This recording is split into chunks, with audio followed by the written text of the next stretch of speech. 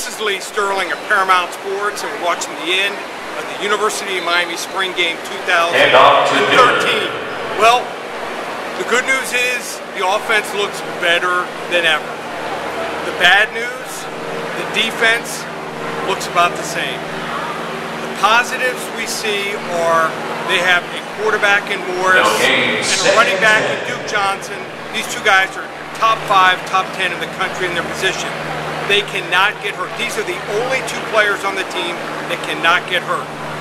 Offensive line looks strong, receivers look good and deep.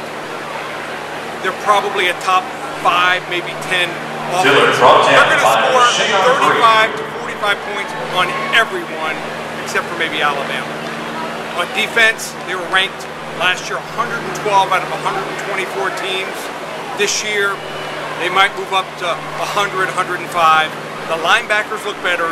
Defensive line and DBs, I don't see any improvement. Third and So, 10. problem here for Miami is they're a little bit better.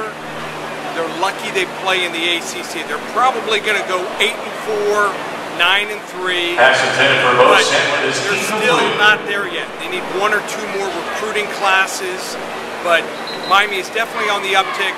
Great offense, not so great defense, but Al Golden, great recruit, recruiter. So we'll call for eight and four, nine and three, and uh, we look for better things on the horizon for the University of Miami.